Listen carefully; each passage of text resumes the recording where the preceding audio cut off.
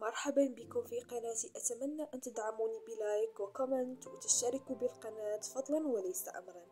في 12 يناير أعلن Universe Ticket رسميا أن حفله الموسيقي بعنوان Universe Ticket tour in Seoul والذي كان من المقرر عقده في فبراير قد تم إلغاؤه بسبب مشاكل تتعلق بالتأشيرة والأكاديمية.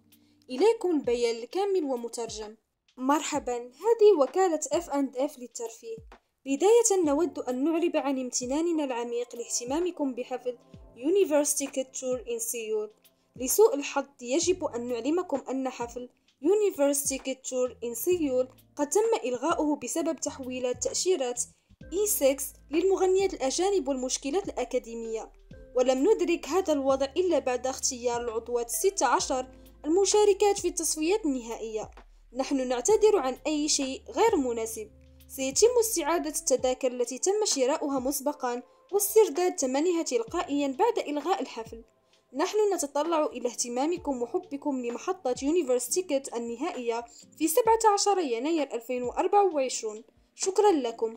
وبهذا أكون قد وصلت إلى آخر الفيديو. أتمنى أن تدعموني ب like و comment وتشتركوا بالقناة فضلا وليس أمرا.